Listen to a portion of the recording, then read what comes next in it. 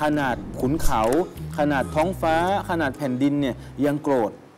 โกรธที่อะไรครับ ที่พระเจ้าเนี่ยได้ถูกละเมิดด้วยการกล่าวอ้าง ว่าพระองค์ทรงมีบุตร แล้วดังนั้นนับภาษาอะไรกับคนที่เรียกตัวเองว่าเป็นผู้ที่ศรัทธาต่ออัลเลอฮ์ล่ะครับ เราจะเฉยกับความรู้สึกดังกล่าวนี้ที่มีคนมากล่าวหากล่าวหาพระผู้เป็นเจ้าว่าพระองค์นั้นทรงมีบุตร พระองค์นั้นทรง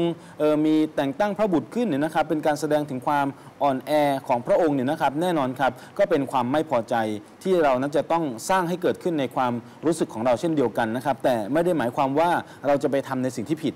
ด้วยกับความโกรธความรู้สึกไม่พอใจเนี่ยจะไปเครียดแค้นไปทำในสิ่งที่ทำให้เกิดความเสียหาย อันนี้ก็ไม่ใช่แนวทางที่ถูกต้อง เช่นเดียวกันแล้วทำยังไงนะครับนำเสนอความจริงเนี่ยจากเนื้อหาสาระเรื่องราวของท่านนบีอิสาที่เน้นในเรื่องของไม่มีพระเจ้าอื่นใด นอกจากลอฮ์ซุบฮานะฮูวาตาและอันนี้น่าจะเป็นเป้าหมายสูงสุดนะครับของบรรดานาบี และบรรดารอซูล ที่จะต้องชี้แจง สร้างความเข้าใจ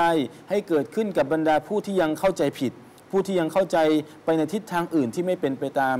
การกำหนด หรือว่าความพอพระทัยของพระองค์อัลลอฮ์ซุบฮานะฮูวะตาลานะครับก็นับว่าเป็นส่วนที่มีความสำคัญอย่างยิ่งครับ ดังนั้นครับกรณีเรื่องของการที่จะมากล่าวอ้างถึงการมีพระบุตรของอัลลอฮ์ซุบฮานะฮูวาตาลาแน่นอนนะครับ ก็เป็นสิ่งที่เราจะให้มันจบไป ให้มันเนี่ยมันออกไปจากคำพูดเรื่องราวดังกล่าวนะครับ เพราะนั่นจะเป็นการสร้างความเสียหายให้เกิดขึ้นอย่างมาก